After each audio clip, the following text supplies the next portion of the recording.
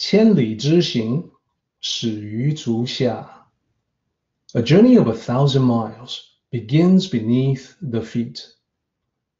We now gather in the Tao to travel the journey together.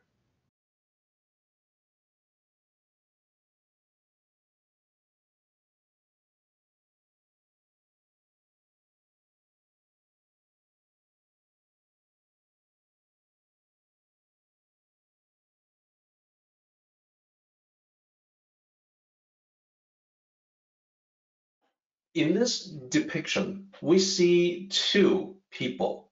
And at the top of the slide, you get their names, Huineng and Shen Xiu.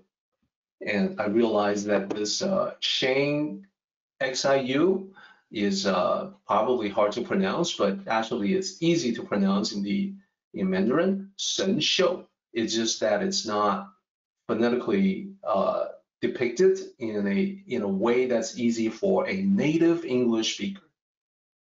So with these two, who are they? Now you can see that there's writing on the wall there. Huineng has what looks like the poem, and Shen Xiu does as well. Huineng to the left, Shen Xiu to the right. So Huineng looks like he's wearing this uh, normal everyday clothing for ancient China, while Shen Xiu is in the Buddhist robes.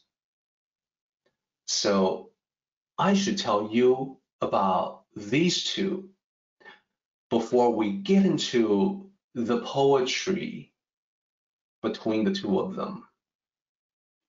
So Shen Xiu is a monk, as you see here, and Huineng, as the story begins, was a commoner. So he's a young man, as depicted here, and he was always a very intuitive thinker. He knew nothing initially about Zen Buddhism, but then one day, while running errands, he heard the Diamond Sutra being recited and connected with him. It had a powerful effect on him. He right away in that moment knew that he wanted to study Zen Buddhism, that he needed to do everything he could to learn Zen Buddhism. So he decided to travel to seek out the leader of Zen Buddhism at the time. Now, this story occurs more than a century after the time of Bodhidharma. Bodhidharma became, became the first patriarch of the Zen Buddhism tradition. He passed it down to the second patriarch, and then the third, and the fourth, the fifth. So by the time that Huineng, the young man, traveled in search of Zen Buddhism, he was seeking the fifth patriarch. So in other words, by his time, Zen Buddhism had already been in China for five successive generations of spiritual leaders. So when he got to there, it's a monastery, it's a, a Zen Buddhism temple with many students, many disciples learning from the fifth patriarch. The leader of all the disciples was Shen Xiu. So that is why he's in Buddhist robes. Huineng was just a commoner. He was just a layperson seeking wisdom and knowledge and teaching from the fifth patriarch. So he was accepted by the fifth patriarch as part of the, the disciples, and he was given menial tasks to do, to perform at the temple. At the temple, everyone was expected to work.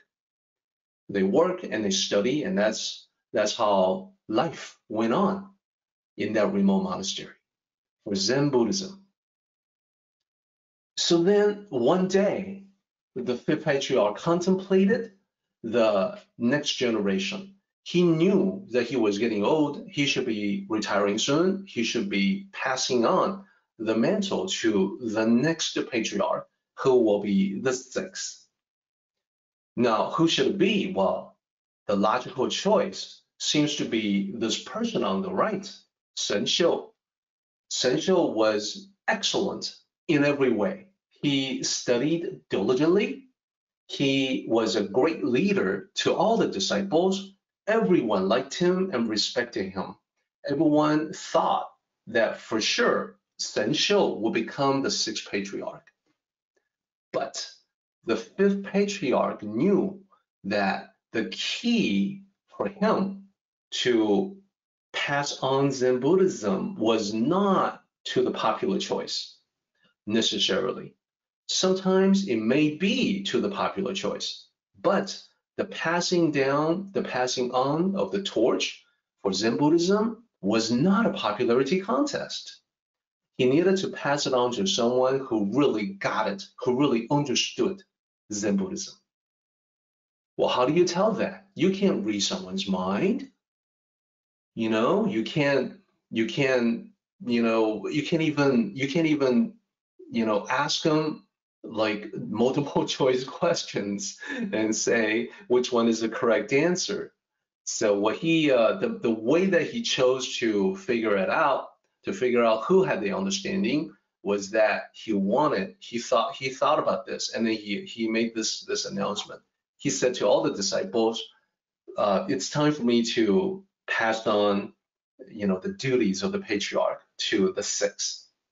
And I need to select from someone who really understands our tradition, our teachings, and the great truths of Zen Buddhism. So I want everyone, he addressed all the disciples, I want everyone to write a poem to describe, to express your understanding. And if I see someone who really, who really gets it, I will pass down the ropes of the Bodhidharma and the begging bowl of the Bodhidharma to that person the Buddhist robes and the begging bowl of the Bodhidharma passed down, you know, for uh, by that time more than a century, is the is the symbol of power in, in Zen Buddhism. It's only the patriarch who is qualified to take them uh, as part of uh, part of his uh, position. So, so this was an interesting challenge, and this is uh, in modern times, this would this would boggle the mind because it is like you have this religious tradition and you're trying to find the next leader for that, and the way that you find it is to get everyone to write poetry, right? It, it boggles the mind. But this is uh, this is the way that he chose. Most of the disciples they automatically forfeited. They automatically decided to give up. They all said, "Well, I mean, of course it's going to go to Xiu why should we even bother? So they didn't come up with their own poetry at all. They were all looking to Xiu. Now, Xiu was truly excellent as a Zen monk, and he was also very humble. So he thought, well, uh, okay, well, everybody's expecting me to do something. Should I do something? Well, but if I write something, that means that I'm trying to go after this position. That's really ill befitting the teachings that I've been studying. I shouldn't do that. But then on the other hand, I have this command for my master to do it. So I really have to. And plus, this will be a way for me to, to learn from my master, the fifth patriarch, how much I really know. He can tell by reading my poetry where I'm at. He can provide me with feedback that will you know, allow me to grow further. So, okay, I should do it. So he wrote this poem, and the poem that he wrote is as you see on the right hand side of the wall there. And when the other disciples saw this, they all said, Wow, what a great poem. They all decided to commit it to memory. So every day, as they went about their tasks, they were all reciting this, you know, making it like a chant. So Huineng heard this as well. Now remember, Huineng is a powerful, intuitive thinker with a direct understanding of the Zen teachings. When he heard it, he immediately understood where Shen Xiu was at. And he immediately figured out that there was a level above what Shen Xiu understood. That Shen at that level was not yet ready to touch. So he decided in the middle of the night to express his understanding in his own poem, which you now see on the left side of the slide. Now, of course, I realize that as you're looking at this, uh, these poems mean nothing. So, so I want to uh, translate that for you. And I want to show that to you in the next slide.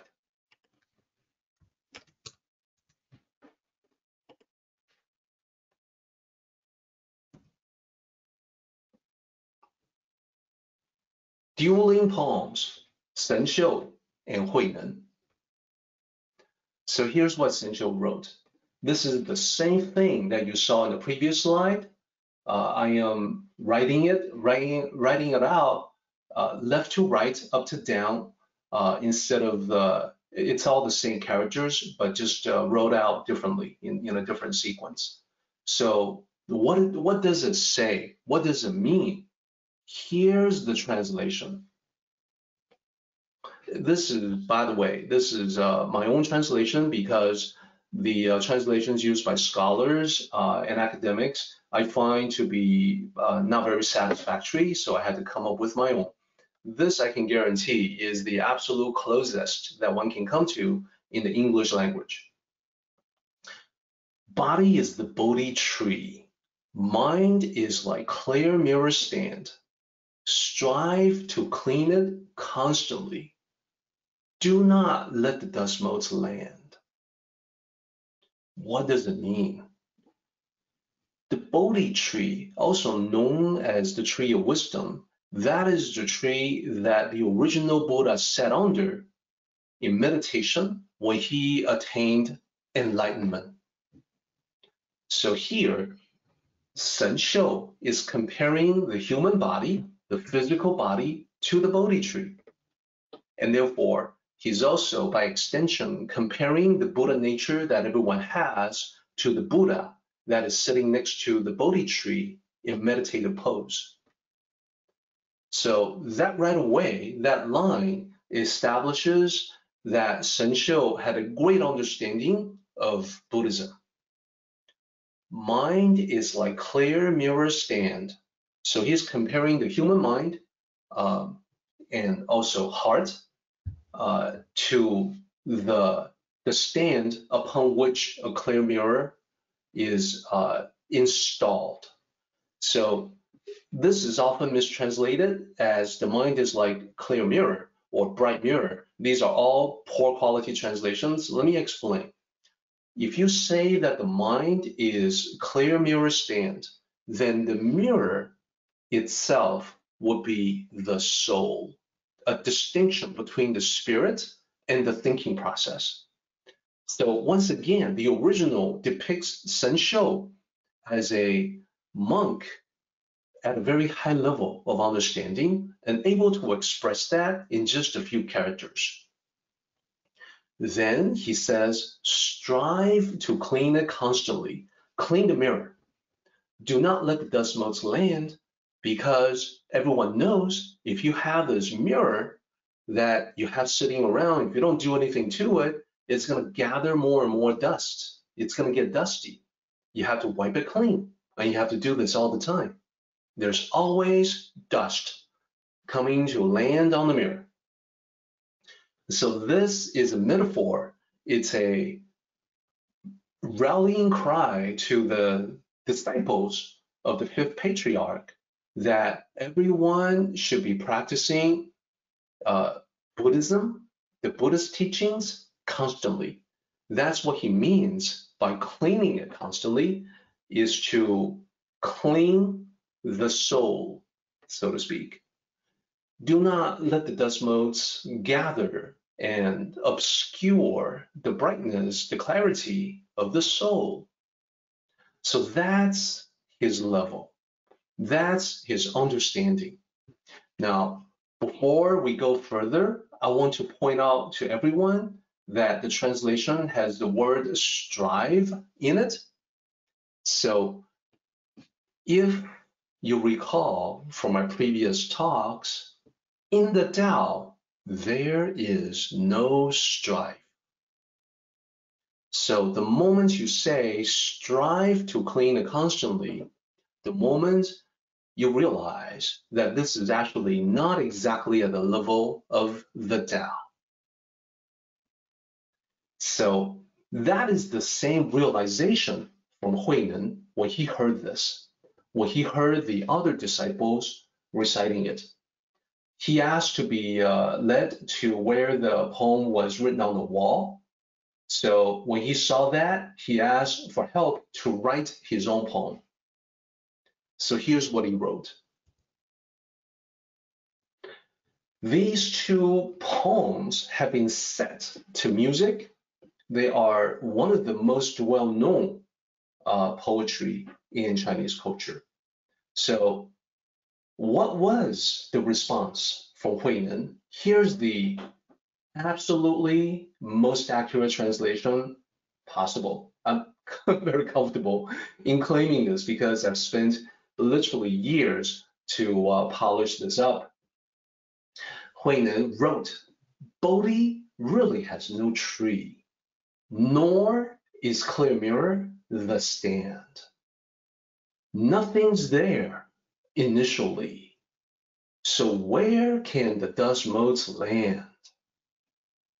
That was the response. So let me break it down for you. What Huineng is saying is that all of these things that we're so concerned about, these are manifestations of the physical world, the material world. If we can see through the illusory manifestations, we would realize the true reality, the reality of the intangible, of the Tao, of the spirit, of the soul. It's emptiness. So it's empty and intentions are part of that emptiness. The soul, the spirit are all part of it. Those are the real things. Material objects, not so much. Therefore, clear mirror is not the stand. The soul and this physical stand are actually quite different. There's actually nothing. So where can the dust motes land? If you are, so in other words, if you are attached, if you are very set in thinking that there's something rather than emptiness. So for instance, if you think of your own reputation, your own ego, your self-respect, as things that can be wounded. When someone insults you, boy, it's time for war. You wage all out war to avenge yourself when someone says something that you take as an offense. But if you recognize that there's actually nothing, it's actually all just material world squabbling, illusory manifestations, then you can be free of the ego and the dust motes have nowhere to land. That is the realm of Wu Wei, the realm of detachments, and the realm of the Tao.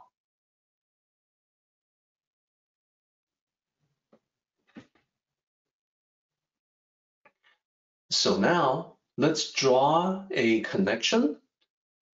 Let's make the correspondence. Let's um, showcase the correspondence between Zen Buddhism and the Tao.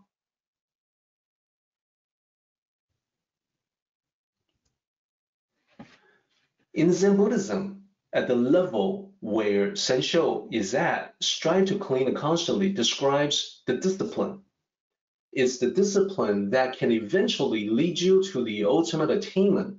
Ultimate attainment meaning the great awakening, the enlightenment. But the discipline is not the attainment. the vessel that takes you to the distant shore, the opposite shore, that vessel is not the destination. It's the means of getting there. I think everyone follows that, right? Now, the Tao says low virtue takes contrived action and acts with agenda. So remember, low virtue can be fake, but it can also be discipline. It can also be something that you do in order to rise to the level of high virtue. So either way, it's contrived action and acts with agenda. Agenda by itself can be a positive or negative thing. You may have a hidden selfish agenda. That could be negative. Or your agenda could be to better yourself. That could be positive. All right, so that's one aspect of it. What so what Shen Xiu was describing maps directly to the state of low virtue, but in a positive way, in the disciplined way. What about high virtue? Nothing's there initially is the realization, a spiritual awakening that the world is illusory and the emptiness of the Tao is the true reality. Wow. Lao Tzu says it this way. High virtue takes no contrived action and acts without agenda. And that is because high virtue is a state where you have realized that there's no need to battle one another in the material world. There's no need to try to showcase yourself as the best of the best. You no longer have the agenda to do that. All of those are part of the squabbling that we do in the material world. You free yourself from it, and that allows you to practice high virtue. So there's plenty more. There's a lot more details in the story about Huineng. And I want to make a reference here that if you are interested in the full story, you can easily find it at www.taoism.net. In your browser, you can simply type taoism.net and it will take you there. When once you are there, you'll see right in the middle of the menu, Platform Sutra. Clicking on that takes you to 10 chapters in the Platform Sutra. There's actually a lot more of the Platform Sutra. I'm gonna have to work on the rest, but from one to 10 actually completes the origin story of Huineng, how he heard about Zen Buddhism, how he went to the fifth patriarch to study, how he encountered this test from the master, the fifth patriarch, and how he prevailed by demonstrating a higher level of wisdom and then receive the begging bowl and the robe, which by the way, no longer exist. That is because one of the story, part of the story in in the in this Zen Buddhism tradition is that there was such squabbling and contention over the begging bowl and the robe, the the robes of the um, Bodhidharma, that the sixth patriarch Huineng came to the realization that these symbols of authority have become the bone of contention to fight after. Therefore, from that point on, from the point of, from the time of sixth patriarch onward, no longer the passing down of the bowl and the robes. Those are, after all, the manifestations of the material world. So it would be fun and interesting if the begging bowl and the robes are still uh, on on display in a uh, at a museum someplace as a historical relic, or maybe as holy items in the current practice, in today's practice of Zen Buddhism. But no, that is not the case. Everybody who learns from Zen Buddhism should understand that this is something to free yourself from. to detach from.